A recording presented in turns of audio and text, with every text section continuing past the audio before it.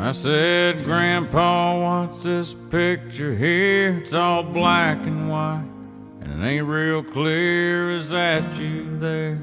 He said, Yeah, I was a lovin'.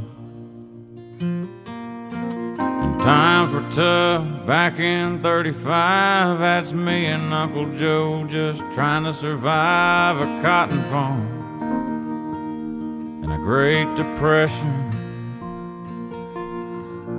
If it looks like we were scared to death, like a couple of kids just trying to save each other, you should have seen it in color.